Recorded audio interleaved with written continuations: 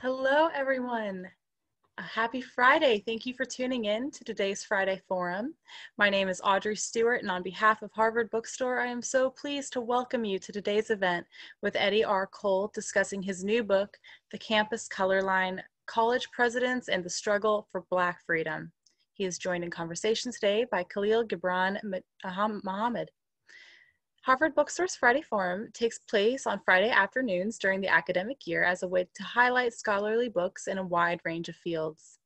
Through virtual events like today, Harvard Bookstore continues to bring authors and their work to our community and our new digital community during these challenging times. Every week, we're hosting events here on Zoom, and as always, our schedule appears on our website at harvard.com/events, where you can also sign up for our email newsletter and browse our shelves from home. Today's discussion will conclude with some time for your questions. If you have a question at any time during the talk, go to the Q&A button on your screen and we'll get through as many as time allows. If you would like to buy a copy of the Campus Color Line, there will be a link in the chat where you can all sales through this link support Harvard Bookstore, so thank you, especially during this difficult time for community spaces like your local bookstore. There will also be a link for donation in the chat if you would like to give additional support to Harvard Bookstore contributions make this virtual author series possible, and now more than ever, support the future of a landmark independent bookstore. Thank you for tuning in.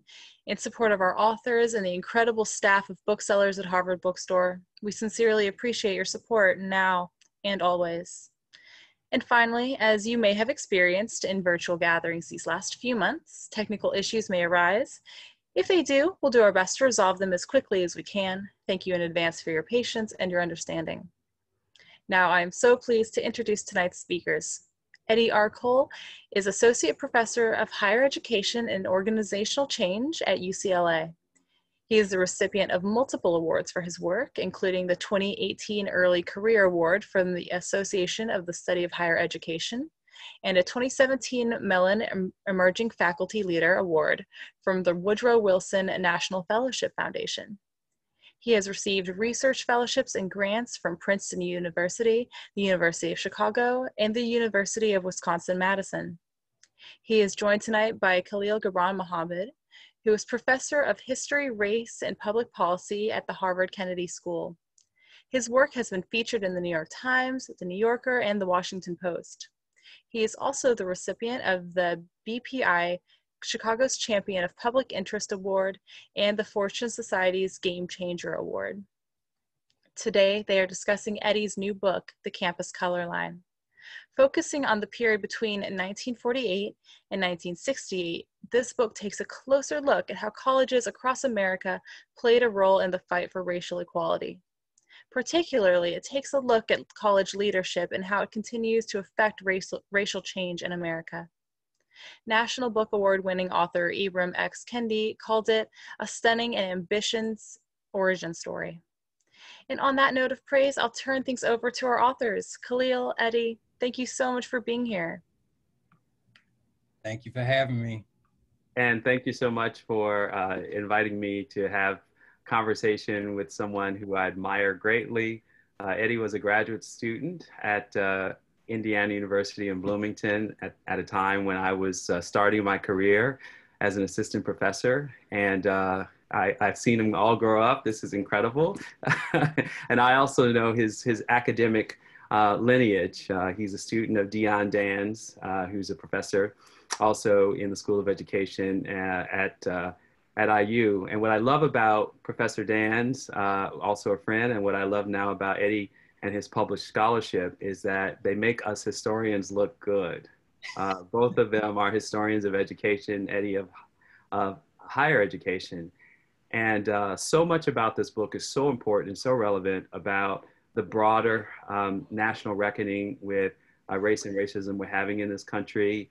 Uh, and what I'm so struck by um, and this is the reason why I mentioned mention your advisor is because she's seeding seeding uh, scholars who take history very seriously and yet whose professional commitments um, are in fields of professional practice uh, where history is often marginal and not quite uh, as relevant to the work. Uh, so that's a big shout out to uh, to both you and and to Dionne for for this great work. Eddie, it's so great to see you, man. How how have you been doing? How's the uh, yeah. book doing um, since it came out? Yeah, I'm doing well. I mean, it's so much going on in the world right now, but I'm hanging in there. And um, the book is really picking up steam. You know, it's one of those things that when you write a book, you never know uh, what society, where the world will be when it comes out. in particular, writing a book about race and institutions of higher education, and then having this particular moment, right? I mean, we're having a national even a global moment of racial reckoning, but also, you know, the pandemic and its racial implications and racial disparities with that.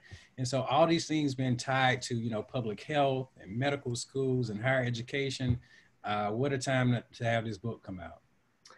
Yeah, you know that's that's the interesting thing about uh, scholarship is uh, kind of the motivations that bring you to a body of work don't always align with pressing world needs, uh, and yet um, sometimes these things come full circle. And that's a good place to start in this conversation about uh, this work. And, le- and let me hold it up since uh, we didn't have any good graphics um, in terms of, uh, you know, we're not at a bookstore and there's not a big poster of you in this work. But, but here's the book, and uh, it's really an, an incredible achievement. Very proud of you for it. Uh, so let's let's start there. So you know, what did um, what motivated you to take on this particular subject area? And I'm going to characterize the book here as a history of the Black freedom movement as seen through the actions of college presidents, your words, and a national study covering the period between the 1940s and the 1960s, and looking at every aspect of uni university of life and administration. That's a big, tall order. So talk to me a little bit about how you arrived in this space you know, before I got to this big national historical study, uh, it started in my hometown, right, Boligee, Alabama. And I always love to tell that story because I'm from a family of teachers, Khalil. And so my my parents were small town, rural West Alabama school teachers. And my father's parents were also small town, rural West Alabama school teachers. And they started their careers in the one room, two room schoolhouses, right? So, you know, I'd always understood um, the role of education, it's linked to the Black Freedom Movement because they were members of the Black Teacher Associations. And we know about the organizing through the work of Vanessa Siddle Walker and others around what these Black Teacher Associations meant. So I understood that part. But by the time I started, you know, became a high schooler uh, myself, it was, it, you know, formal Jim Crow was long gone, but the remnants of that was still there because my public all black high school in Eutaw, Alabama, the next town over, um, actually was around the corner from a predominantly white private academy, right? The segregation academies. And so even and tell, in, tell, tell, tell everyone what that means because that's meaningful in this moment is also. Yeah, absolutely, right. So when it, when schools were forced to desegregate, right? Um, it, because there's obviously the Brown versus Board of Education decision in 54, but schools don't just voluntarily follow, you know, the law of the land. So once eventually forced by court orders and so forth to desegregate what white families did was pull their children out of the public school system in Greene County, Alabama, and elsewhere um, across the U.S. South and other places, and they started their own schools. Right. So you want you want to desegregate and have you know black students go to the public schools with us. We'll leave. But with public dollars, right? I mean, that's the other part of it, right? Absolutely, right. And what, what's really interesting about that is they don't go far. In my case, they go around the corner, right? They get another piece of land that's right near where the public school was. And so the remnants of that were still there by the time, you know, I came through school. And so I'd always had these questions in the back of my mind about the decisions made by past educational leaders and the implications of those decisions on the present, right? Mm-hmm. And so mm-hmm. that really pushed me to once I formally started to study the history of education, specifically for me, the history of higher education, I wanted to know about these college presidents because if these local educational leaders in my small county could have this kind of impact, imagine what US colleges and universities, what kind of impact they could have, the leaders of those institutions, on shaping racial policies and practices uh, both within the academy and beyond. So that's really how I came to write this book. Yeah, I, I, I think that's one of the most fascinating parts of your book. And I want to just bookmark that for just a second and ask you one more setup question. And that is, so, so this is a, a really rich field, but often taken from the perspective of student activism itself and the relationship of that student activism uh, to the Black Freedom Movement. And so, of course, you cite Stefan Bradley's work, which uh, looks both a, in a micro study of what's happened at uh, Columbia University around uh, expansion struggles and displacement in Harlem to a, a, broader study of Ivy League schools more generally, Martha Biondi's work, uh, Ibram Kendi's work, uh, his first book being on Black campus movements. So just talk to me a little bit about how, how your work is distinguished from that work more particularly. Yeah, you know, it, those are some phenomenal authors that you just mentioned. I just love their work, admire their work. And so what's interesting is that I always like to mention that college presidents make a cameo all the time in these histories of student activism. Um, is most often uh, framed in a way that's reactive to the student protests, the students and their demands and so forth. And that's fair. I think that's important to understand that college presidents weren't distant from the moment. Students were making demands to somebody. Mm-hmm. But uh, what I what I wanted to know more about is sort of take, taking a different perspective and looking from this administrative level down is that in the same way that we think about student organizing and student networks and them being able to communi- communicate across campuses, across state lines, coast to coast, uh, the same thing was happening with college presidents. And what I've found in doing this work, taking the administrative perspective, is that oftentimes the issues that students bring up, college presidents are well aware of those issues well before it becomes a sit-in in the president's office. And so it just gives us such a rich perspective on how things are happening on college campuses, how these academic leaders are communicating with each other, uh, both on campus and beyond, and just these networks and understanding that most often the issues that the academy tends to drag its feet on, uh, there is really some intentionality around being slow about it, not a matter of not knowing what the issues are. And so just when I think about the work of, you know, those previous, you know, scholars that you mentioned, uh, it's, it's, you know, my, my work is directly in communication with them. It's almost a mirror uh, looking at the same issues, but from a different perspective. Yeah, yeah, I have two thoughts about that. Uh, I, I'm just sort of bubbling over here with enthusiasm about this work because it's it, it's so rich uh, and, and engaging. And I I mean I can only imagine. I don't know how many people are on this uh, on this Zoom or watching, but anybody working in any context around diversity in higher education, man, you better read this book because uh, there's so much here. So the first thing I want to say about in response to that is kudos to you for taking the time to look at structures of power because um, there's been 30 years of incredible work looking at resistance to that power. And I take nothing away from it. I mean, that in, in many ways is what Bradley's work and Biondi's work. I mean, your point being that college presidents and their role in this is often more an abstraction than a real source. Um, and often the, the powers that be are moving around the campus rather than on the campus. And I just, I just really appreciated in this book how you centered um, the key players in this narrative in ways that remind us that as, as much work as we can do uh, to learn how resistance has worked, we also have to be mindful of how power is moving against resistance. And you used a term in, in that statement about intentionality. I'll admit to you, um, I've looked at power pretty closely over the past 10 years, really since I left Bloomington, first at the New York Public Library, where I ran the Schomburg, and now at Harvard. And power likes to play dumb.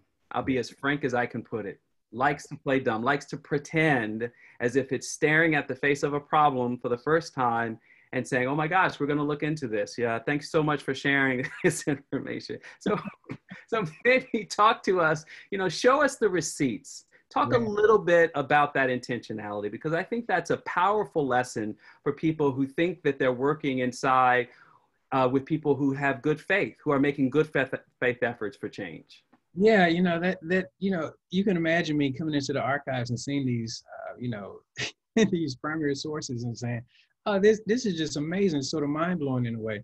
But what happens with these presidents? Um, I give I give a brief example. I go to the University of Alabama, right, and there's this broader question around uh, when will the University of Alabama finally admit Black students?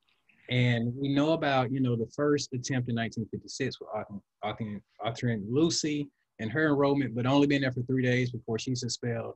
And then the more notable, you know, standing in the schoolhouse door, attempt attempting, you know, 1963. Okay, fine. George Wallace. You have to just name so people are like, oh yes, okay, of course I know that. Yeah. George, George Wallace, segregationist, white supremacist governor of Alabama, vows never to desegregate the University of Alabama and takes a symbolic stand in blocking the door toward where the black students go in to register to become students, right? So, you know, just a powerful image of him standing there defining. Okay, great. That's 1963. There's correspondence among administrators at the University of Alabama going back to 1949 about when are they finally going to admit black students. And so you can see a 14 year delay in the mm-hmm. process, right? This isn't just 63 happens and all of a sudden you got the Kennedy administration and now for the first time they're thinking about it. Uh, these things have been in place for so long. And I love the point that you, you know, you bring out about how administrators react even in the contemporary context, when we look at public statements around the issue on campus, they're framed as a one-off issue, a right. one-time issue like this isn't the culture of our university. We don't stand for this. We condemn this action. This is not who we are.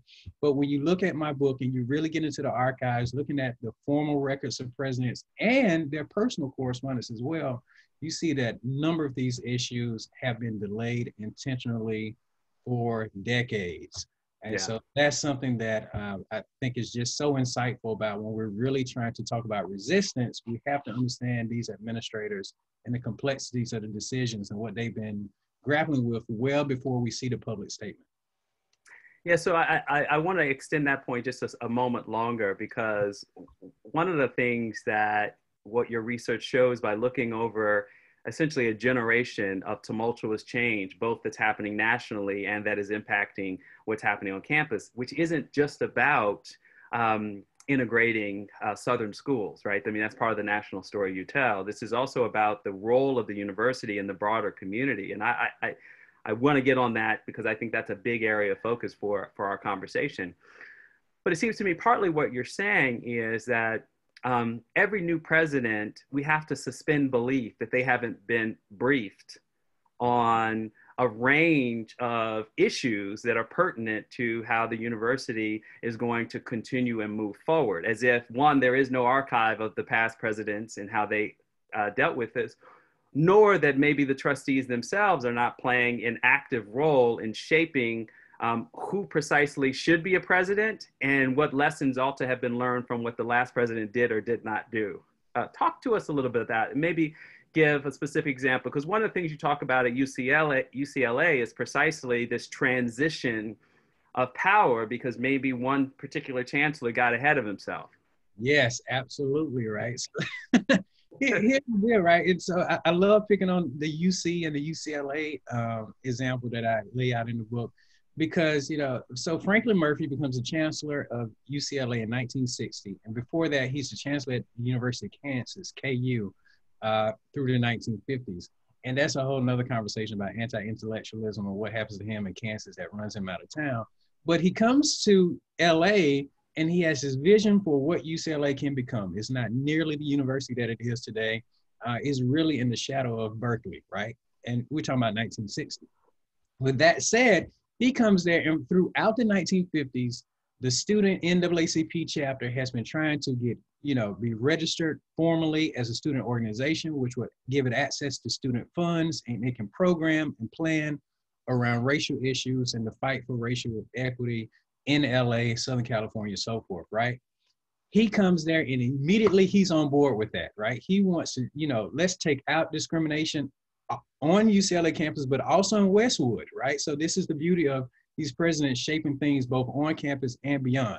Franklin Murphy is adamant about just ending discrimination in all of all of its forms. That's a beautiful quote in the book that I that he says something like that. But the University of California system has a system president, and Clark Kerr is president of the UC system. Franklin Murphy, for the first time, reports to a president instead of directly to a board of regents or board of trustees. And so butting heads, Clark Kerr is not ready for UCLA to outpace the rest of the system, particularly how he envisions the University of California and its engagement with social issues, which California, look, it, it's got this liberal reputation. It's had it for a long time. Even Du Bois, in his early writings, right, talks about California seemingly having no limits on your opportunities, right? Mm-hmm. It has this liberal reputation, but California is so far from that.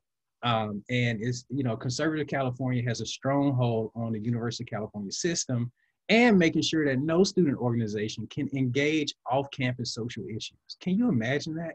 Can you imagine if that's a policy at any university right now for students not to organize around something happening off campus? But right. that was in place.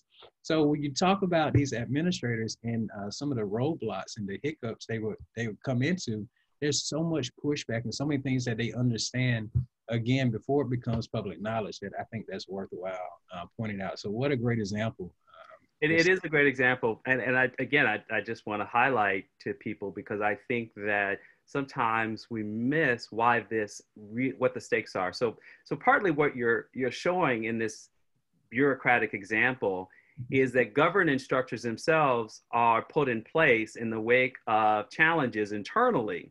So let's just, let's extend this out uh, for a moment.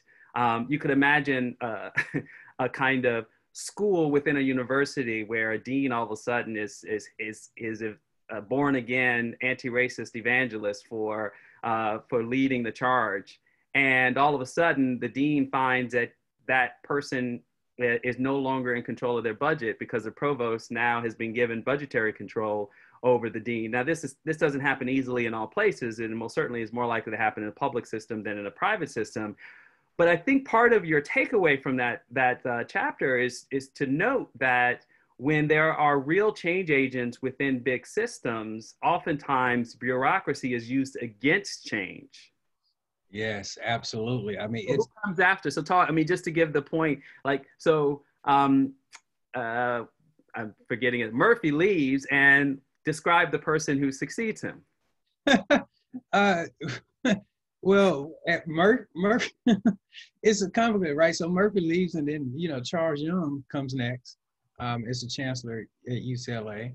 Uh, but I mean, but also Kerr uh, gets fired, but then you know, get the Reagan uh, governorship comes in next, right? So there's this series of events. I mean, I'm glad you pointed it out because these things don't just happen and then we move on, right? It's the next person, and then the next person, and then the next person, and that's so insightful about the system, the, you, you know, me, right? I'm in the UC system. It is as complicated as you can imagine to get something done. And that's not by happenstance, Cliff. Like, I mean, higher education by design, uh, through state constitutions, through legislative actions, so forth. These these systems are put in place that really stifles, you know, the, you know, like you said, the the the renew, the new dean, the new chancellor that comes in on fire. You know, you can imagine there are a ton of administrators this summer after say Breonna Taylor, George Floyd, and so forth that felt fired up and said they felt, you, they had to go do something. Right. And somewhere between this summer and right now, you haven't seen much change, right?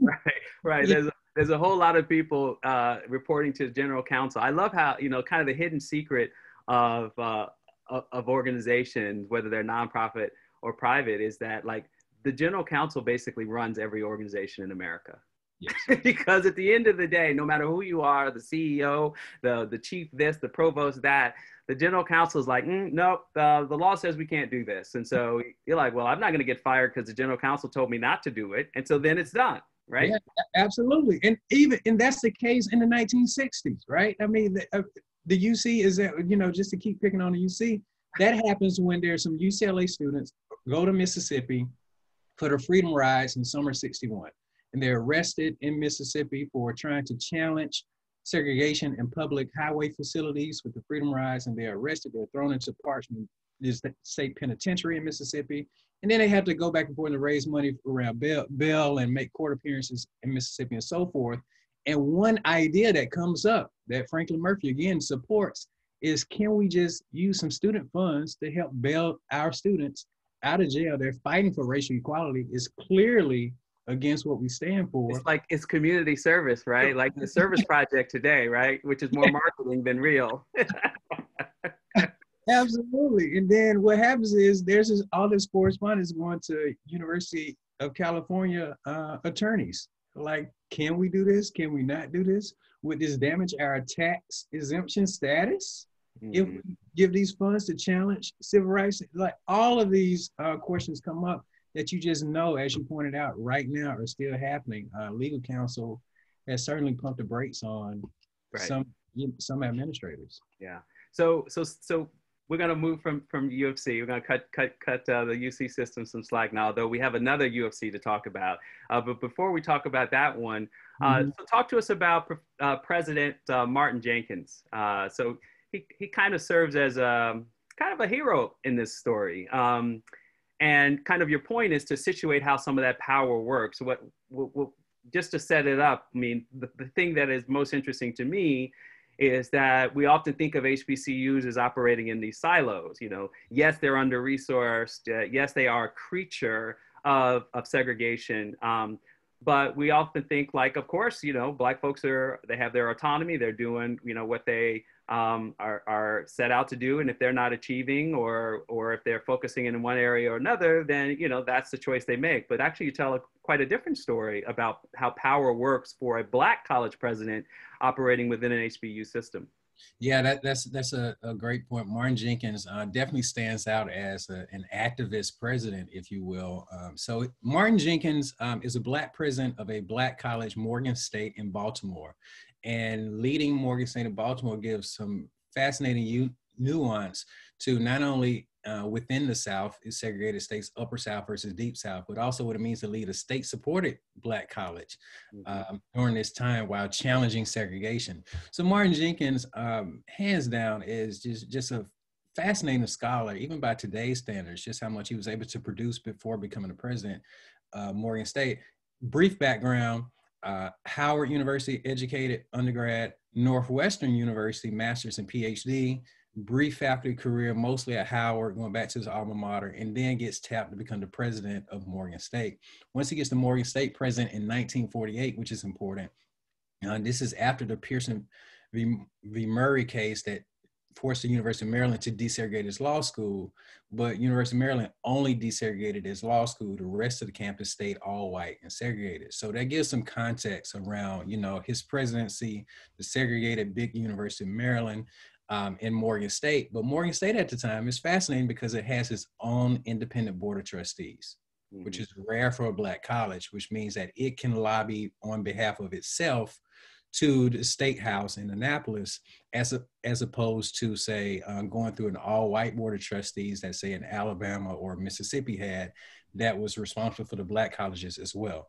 Right. So Martin Jenkins is in a constant fight to maintain that independence because uh, the University of Maryland doesn't like the fact that Morgan State has such independence and is quickly growing. It's notable that Morgan State, you know, has about 1,600 students through the 1950s compared to the state's other black colleges that probably got a couple hundred students. Mm-hmm. So it's growing too fast.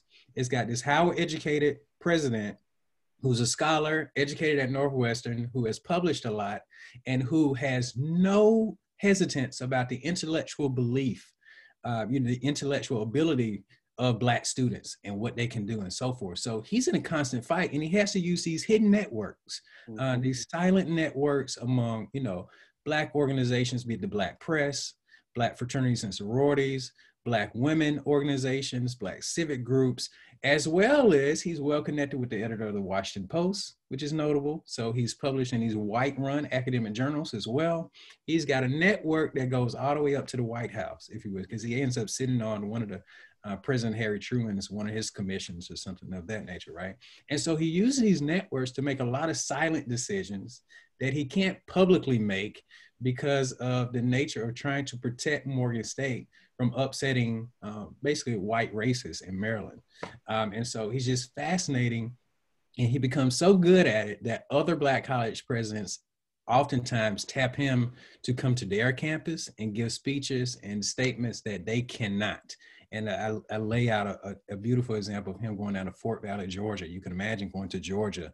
The yeah. president, the, the, the president of that black college cannot say the things that Martin Jenkins has been saying. And so he comes in and delivers a speech that actually supports student activism, challenges the idea of segregation, and really calls for, you know, more support of Black colleges.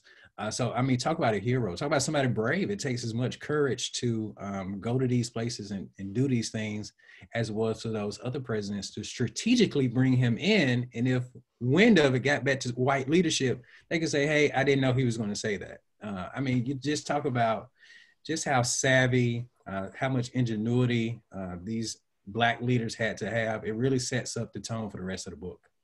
Yeah, I, and, and I love how you frame uh, that chapter of the book because partly what you're, why you position Jenkins in this way is because you cast a broad um, view of the way that essentially white elites still control the fate of institutions that are ostensibly black run and independent, but in fact they aren't.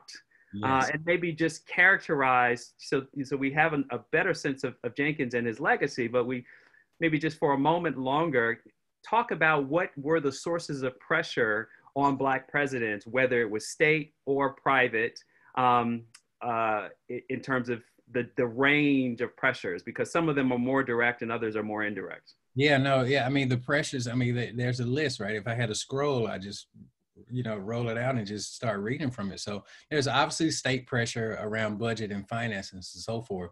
There's pressure from the leaders of white colleges and universities. Who don't often think about that. You think about the black colleges and communication directly to you know state senators and the, the governor and so forth. But there's also these presidents of say the university of maryland.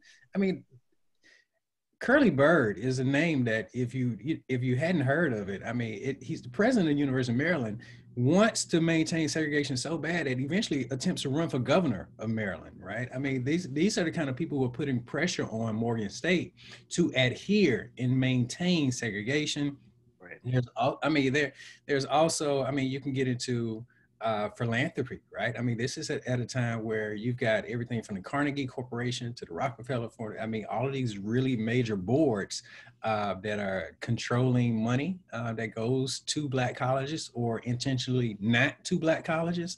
I mean, just there's so many things um, going against them, and then there's also community pressure, right? There's not just you know there's the the black activists community organizers that are adamant that enough is enough. I mean, we're post World War II, and black colleges staying within this white supremacist system isn't going to cut it anymore. So there's also pressure to engage with the black community as well. Um, and so, I mean, it's coming from all sides, truly. I mean, so just to be able to be in that position is, yeah. yeah. those pressure examples, uh, there's a line you use that you essentially say that white power brokers um, are surgically appointing black people who they think, whether yeah. they live up to their expectations or not, who they think will play along. Yes. I think I think that that's something that is a major takeaway about how we understand black leadership uh, over the past, uh, you know, really hundred years, and, and even to this very day. You know, what are the stakes for who is appointed to do what work? Um, so we have about 10 more minutes for you and I to chop it up. And I, I just wanted to, uh, so this, this, this aspect of the book um, that I think is, for me, probably the most um, impactful, um, at least in terms of how I think about my own career. And I find this the most fascinating argument of the book. You write that college presidents, in terms of responsibility to varying stakeholders, function like elected officials. And those you studied as college presidents were unwitting and sometimes willing architects of managing the demands of movement activists on campus, but most surprisingly off campus as well. As you state, they actively, though often quietly, shaped racial policy both inside and outside the educational sphere. For example, it was elite private university presidents who coordinated federal, state, and local funding to redevelop university, I'm sorry, urban centers at the expense of Black and undeserved citizens. So many university presidents today, Eddie, like to think or pretend that they, as leaders in a huge industry of higher education, don't have responsibility for the policies that define the systems now under scrutiny for being racist by d- design. So, so let's make, in our last 10 minutes, let's make this as plain as possible what you mean about university presidents, particularly private elite universities, mm. that function like elected officials. uh, yeah, uh, they. Let's just get right. unelected officials. All right, appointed right officials, uh, if you will. All right, so here's the deal. Uh, let's let's pick on you know the urban renewal and housing discrimination, which you just mentioned um, as a, as a great example uh, which was much more. I know Stefan Bradley has written about this, but just seeing the action of the college presidents um, was really disheartening to understand that history, even for me in the archives, you know, working through it. Uh, so here's the deal, right? So post World War II, and we know about, I mean, just uh, urban history, if you will, right? There's restrictive covenants when black people, you know, leave the South and move to Philadelphia, New York, Chicago, so forth, and they can only move into certain neighborhoods. Okay, great. All right, we got that. Post World War II, uh, what happens is, you know, those, you know, restrictive covenants are struck down, but then they get into, okay, well, what's another way we can maintain housing discrimination? And so you have overcrowding as more migration comes to major cities outside of the U.S. South. And what happens is these black communities start to get closer and closer to the physical campus of the University of Chicago, University of Pennsylvania, uh, NYU, Harvard. I mean, I mean these these things are happening everywhere, right? You pick a major city from Milwaukee out. I mean, you it, it happens, right? So what college presidents do in 1957, Lawrence Kimpton is the chancellor of University of Chicago. And it's important to name him because these names are important. These aren't institutions doing things on their own. These are people making decisions under the the auspice of universities, right? And so Lawrence Kimpton in 1957 organizes a meeting between the president of MIT, Harvard, Penn, and Yale. And these five men come together and say, what we need to do is actually turn our attention toward Washington, D.C., um, you know, and they're in conversation with the Eisenhower administration in shaping federal housing policies. Mm-hmm. And so urban renewal funds end up being funneled by the millions to colleges and universities at some crazy ratio of like three dollars to one or something. That if a university puts up one, the federal government will put up three. Um, and you can look at how many millions goes to university, and they just start buying up this property and slum prop. You know, right? Not only have they uh, perpetuated housing discrimination by, you know, funding restrictive covenants once they've created these slum conditions, then all of a sudden the slum conditions are a problem, and then they want to displace thousands of black households. I mean, it's it's an American historical tale.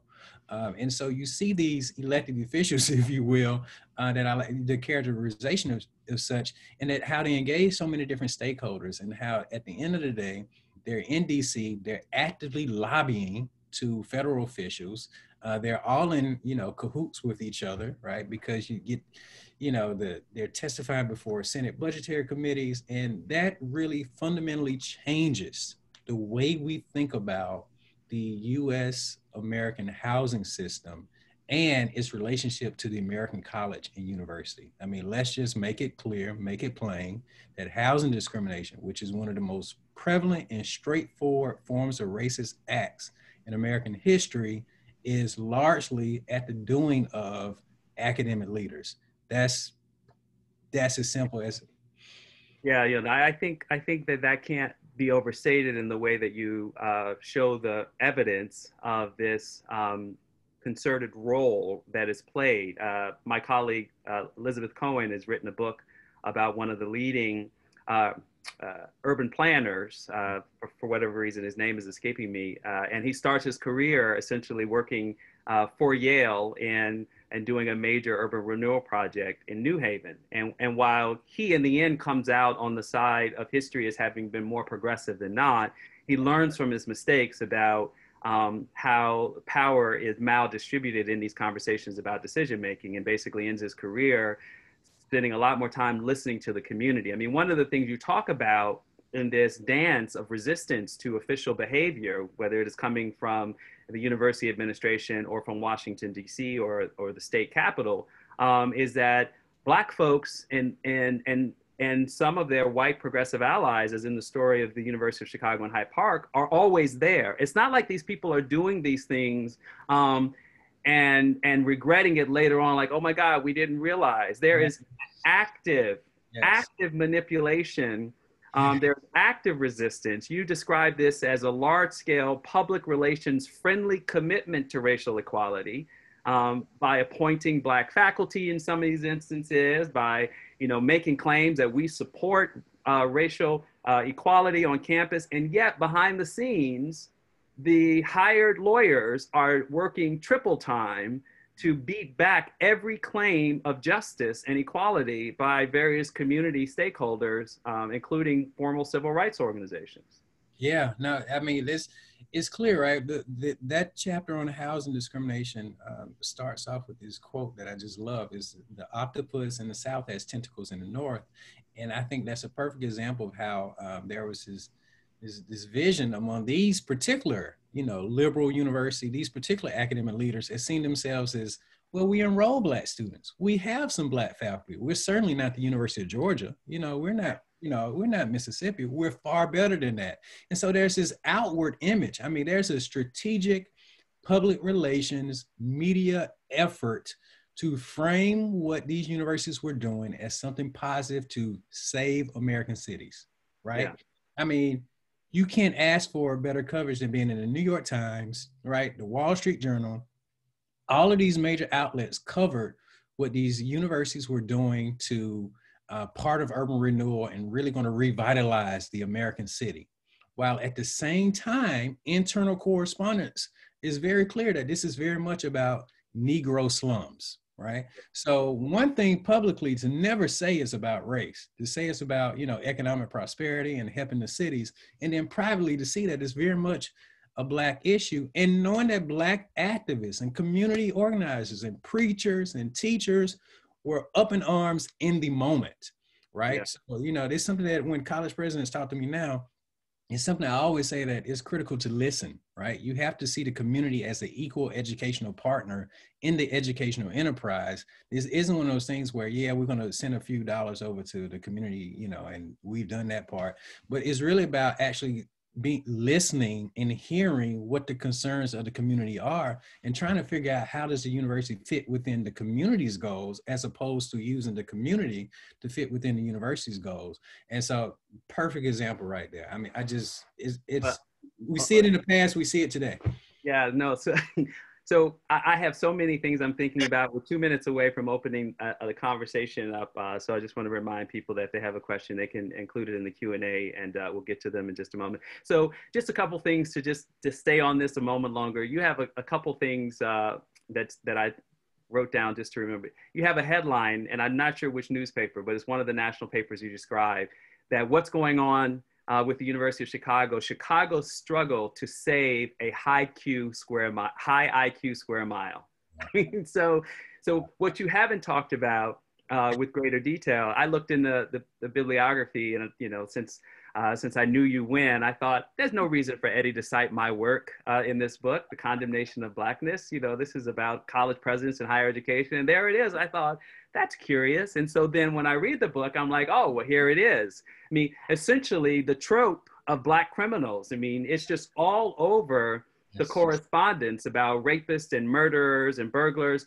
It's so crazy um, how much the university itself is reflecting all of the racist um, ideas and policy beliefs um, that is happening everywhere in the nation, whether it's North and South, that you give an example that a local property manager is being challenged by a white faculty member who wants to move into an apartment and there's some concern that the faculty member is too cozy with black people and might actually have black guests and therefore that person should be denied access to that property.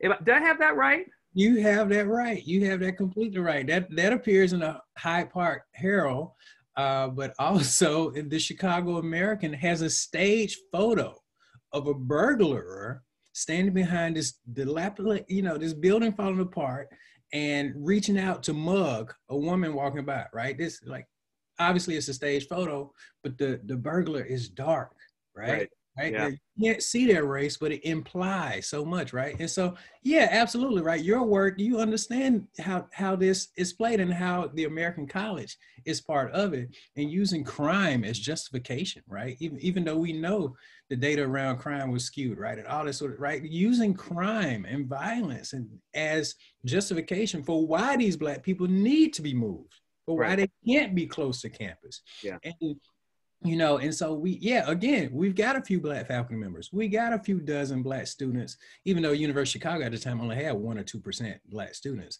uh, they made sure that they got their bang for the buck saying that they've got black students. Uh, even in that case, one of them is going to be Thomas Sowell eventually. so they were also picking which black students they wanted to bring yeah. to campus. Very intentional with that as well. Uh, yeah. yeah. So anyway, it's it's so much. Well, I, I have one last thought on this point, which is that we hear so much in this moment about the racial wealth gap, and we hear so much concern about systemic racism and so much effort and energy uh, being put to supporting it. I know in the wake of the Floyd protests, Larry Bacow at, at Harvard University uh, issued a, a, a several solidarity statements and put a lot of pressure on the deans to show good faith effort. And it's, you know, it strikes me reading your book that at the same time that how Harvard uh, and other universities have taken a page from Craig Steven Wilder's work, Ebony and Ivy, and have started to dig up their own reckoning with slavery and the relationship of slavery to uh, the early building of the university, going back to the 17th century for so many of these Ivy League schools. When I think about my own university campus, and I learned from your story, I think like the reckoning and reparations debate about the past is now squarely centered around the role of universities and elite universities in particular in, in literally being part of the moment of redlining and systemically racist housing discrimination, which, if everybody is right, is a direct proximate cause of the 10 times wealth gap that Black people experience today.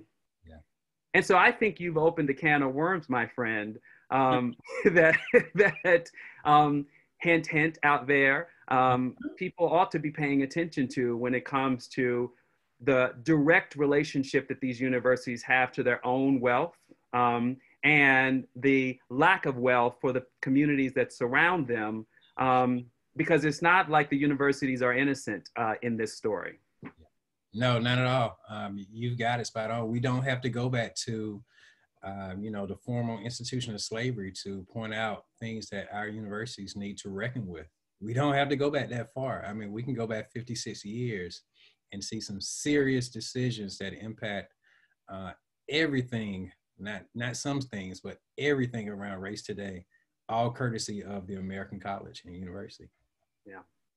So we've got we've got uh, some questions, and I'm going to read the first one here. Okay. Are there any models you've come across in your research of private universities and colleges reinvesting in their cities and towns in a way that's beneficial instead of predatory? Do you think it's possible, or is the relationship inherently inequitable?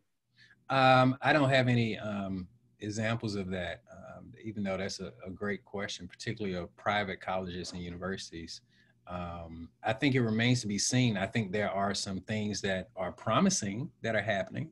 Um, you know, I'm always intrigued by, um, you know, since you asked about private institutions, USC, University of Southern California, um, being in South LA, uh, formerly known as South Central LA, uh, rebranding uh, that region of that part of the city. But I mean, that's promising. It remains to be seen where this goes. Um, but is is there hope for the future? Sure. But I think um, you know, as Khalil just said, if we truly uh, you know grapple with this history and engage it and be honest about it, then I think we can start to make some changes. But as long as we're looking at uh, you know racial disparities as a one-off right as you know something that's happening you know in this moment is never going to be genuine enough to make that real change um, and that's where we got to get we've got to get to the point where we can be honest about history honest about what we've done our mistakes in the past um, because so few universities want to do that it's easy to talk about the 1700s right oh yeah yeah but right. but when you're talking about people who you know, in some cases, maybe in their 90s, still alive, right? You, when you're talking about real time legacy of people that you know or remember meeting, you know, 10 years ago, it's harder to be honest about those histories as opposed to condemning university leaders from 200 years ago. Yeah, well, I, I wouldn't even say in the 90s. Listen, you know, I grew up in Hyde Park. Um, yeah. And, uh, and I have a good friend uh, whose father was Allison Davis, who was the first black tenured member at the University of Chicago. His name is Gordon Davis. So when I read some of the evidence you present where you say black Chicagoans paid $12.5 million more in apartment rent than whites and $157 million more than whites for home rentals or purchases. Yes. Uh, this is not an abstraction, nor is it something uh, that even pertains to a 90 year old today. I mean, it's, it's, it's very real. I wanted to, um, we have one more question, but uh, before we move on to that one, I wanted to um, respond to that first question also, and that is to say that uh, first to remind folks that you know the heart of your research is historical, um, and so you, you you didn't give yourself the task or responsibility to survey the current landscape in a way that you would necessarily know all that might be happening. Uh, so that means that there's opportunity for others to contribute to that, um, to answering that question. But I do want to give the example of Brown University and President Ruth Simmons, and mostly because um, she just uh, joined a conference that uh, I held with my team. I run something called the Institutional Anti-Racism and Accountability Project, and we hosted a conference called Truth and Transformation 2020 just uh, just last Friday, and uh, and she gave a keynote where she talked about Brown University looking into its own slavery passed at her urging back in 2000 is either 2001 or 2003, and she says, and so this, she says two things that are totally relevant. Um, and then one thing that is an answer to that question. She says that when she first proposed that the university investigate its own uh, role in slavery and the wealth generated by the Atlantic slave trade in Rhode Island, uh, which was a capital um, of the New England new slave trade, precisely because of the relationship of, of um, shipbuilding um, and the trade itself she said that uh, a trustee said to her essentially, you know, why don't you guys just get over this? You know, it's really just time to move on. And then the second thing was that uh, once you do this, you'll never be able to fundraise.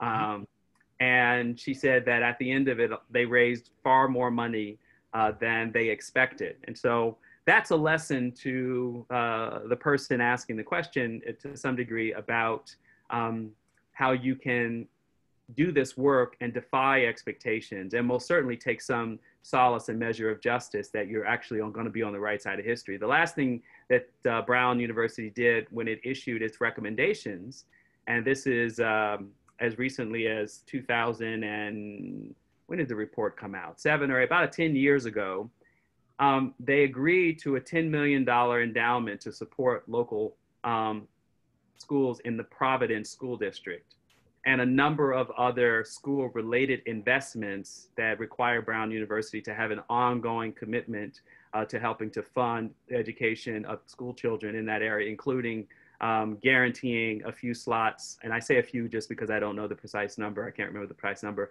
for those students to attend Brown University. So uh, you know, might it have taken uh, the first and only now black president of an Ivy League school and the first woman uh, president of, uh, of any background to run an Ivy League school to do this kind of work? Perhaps. Yeah. Yeah. yeah All right. So, uh, question here is one problem I see in colleges is exploiting black students in sports for unpaid labor. Do you touch on that in your book? Oh yeah. Well, you know, there are numerous sports examples in the book. Um, yeah, one being um, UCLA. Um, just to go back uh, full circle, I guess, in our conversation, that um, sports have been used strategically by college administrators, uh, particularly around race, for uh, quite some time now. So, if you're interested in what we're seeing right now is pandemic college football uh, with disproportionate number of Black students um, participating, then yeah, you would find um, some relevance in the book as well. Because uh, one example is UCLA plays in Houston in the fall of 61 basketball. So John Wooden is the coach, and they've got three black players, and those players are harassed in Houston, uh, racist taunts and so forth. And ultimately, afterwards, um, Franklin Murphy at UCLA uh, goes to the system leadership and says, we got to change our policy around playing these segregated schools. Like, we know there are good basketball teams down south, but we can't keep going down there if we're going to be real about um, having these black athletes on our team. And so, actually, Franklin Murphy used that as an example uh, to kind of leverage the student vote that came forth around supporting the UCLA Freedom Riders. Uh, so, you see the connection between sports and race and civil rights and broader questions around black students and what does that mean um, so yeah i mean exploitation in the purest sense around you're black and you're forced to go play in Mississippi or forced to go play in, you know, Houston in this example. So that form of exploitation, but then leveraging it at least uh, toward having a, a, broader conversation. Yeah, there are examples like that in the book. Yeah. Yeah, I, I appreciate that um, that focus. Listen, I'm gonna uh, take on one more question that I had prepared, which I think is also very relevant uh, because we didn't talk about it. So you sort of the last uh, chapter of the book talks about mm. affirmative action. Yeah. And um, you talk about the relationship of the program and what it does to HBCUs and what it means uh, for uh, white universities and colleges to take up this work. So, so maybe share a bit about your findings there. Yeah, yeah. The book finishes talking about the origins of affirmative action in higher education. And ultimately, you have the Kennedy administration in 1963, after intense global pressure um, to how race and segregation is looking in America.